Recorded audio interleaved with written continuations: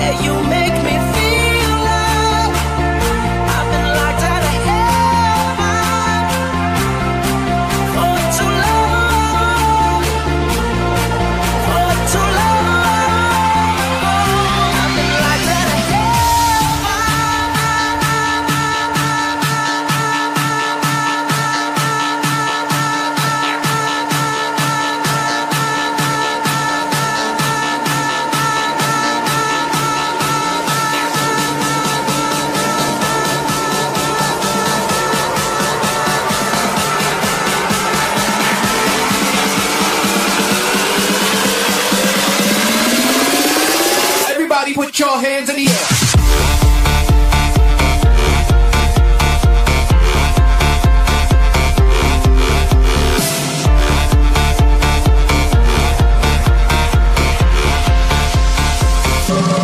What's up?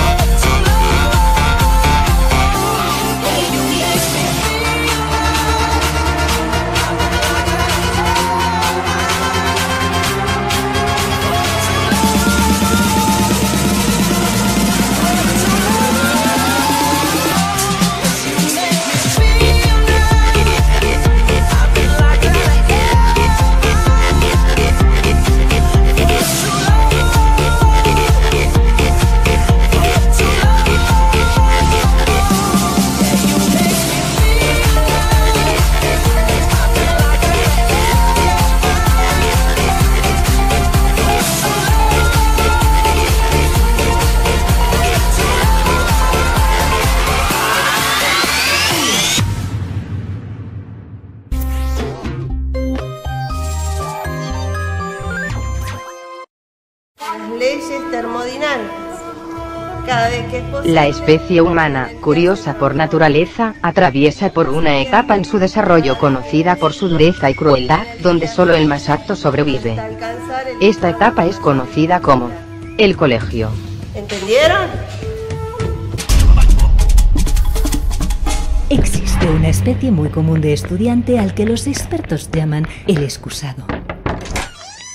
Profe, no se imagina el tráfico que había, pero le juro que de mañana llego temprano. Siempre lleva una excusa consigo. Es que se me murió el perro. ¿Qué no era sábado? Es que me olvidé la mochila. ¿Y la mochila? Mierda. López. Una especie de estudiante, extremadamente curiosa, se ha denominado cometa Halley. Su presencia es un acontecimiento que pocos han visto.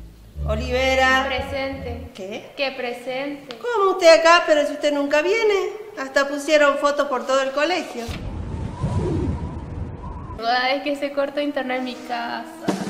A diferencia del anterior espécimen, este es fácil de identificar y hallar. ¡Ah, rayo! No voy a poder terminar de copiar. Agus, préstame la tarea de historia. Pero si no tenemos historia, ¿eh? En el otro módulo. Para esta especie, las palabras tarea y casa jamás están relacionadas. La tarea de matemáticas. Cállate que parece que se olvidó.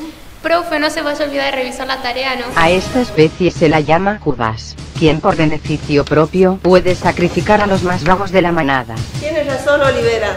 Dos puntos más para su examen. La supervivencia académica es proporcionalmente inversa a la relación socioafectiva con sus congéneres, Pinche pendeja. quienes no dudarán en demostrarle su inconformidad. Para algunos, la presión es desbordante. Este es el caso del estudiante sufrido. Mientras que para otros, Igual no estudia. Esta etapa ya de por sí dura se recrudece aún más gracias a los temidos exámenes. Para algunos esto transcurre como si solo se tratara de llenar el estado del Facebook. Con ustedes, el estudiante aplicado. Está también el alumno que confía en las habilidades del resto. Se lo llama el copión.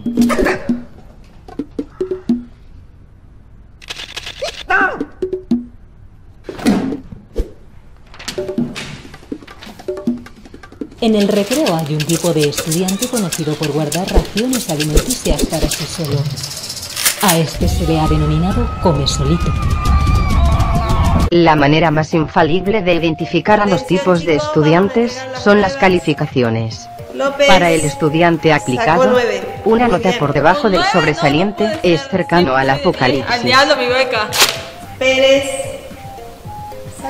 Para el vago, sacar una nota que no tenga un cero por delante es un verdadero triunfo personal. Oh, perdón, me equivoqué. Esta es la prueba de Gómez. Gómez. Y el estudiante, cuya vida es como la tabla del 5, Seis.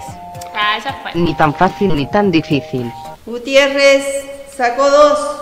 Si sigue así va a repetir el año. Otra vez. A este tipo de estudiante se le llama el eterno, para quien repetir el curso se ha vuelto deporte olímpico. En la repetición está el gusto, ¿no, mijo? Sí, papi.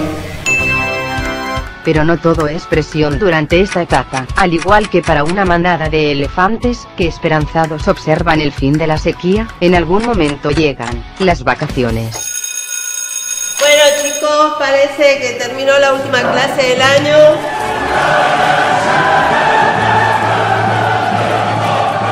Vacaciones necesito que me estudien desde la página 5 hasta la 150.